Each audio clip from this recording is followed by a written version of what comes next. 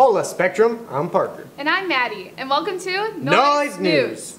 I'd just like to start off with congratulations to all the juniors who got out there and finally got their ACT testing out of the way. But what if they bombed the test? Well, then it really sucks to be you.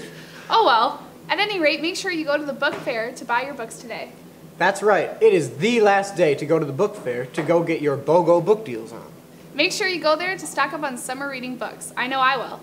Now let's send it over to Parker Brown for the latest on Spectrum Sports. Hey, hey, hey, Spectrum. I'm Parker. And I'm Tara. And I'm Emma. Hey, hey, hey. What are you two doing here? This is my week. Fine, we'll leave. This is lame anyways.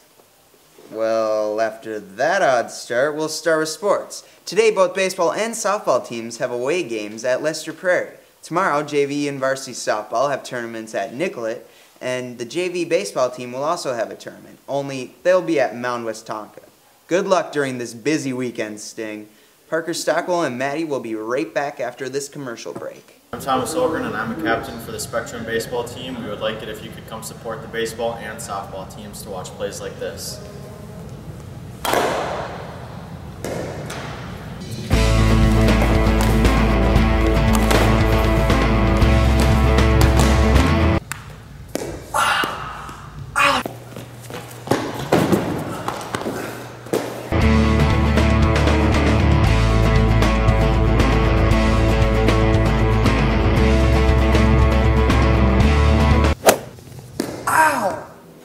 Awesome commercial, guys.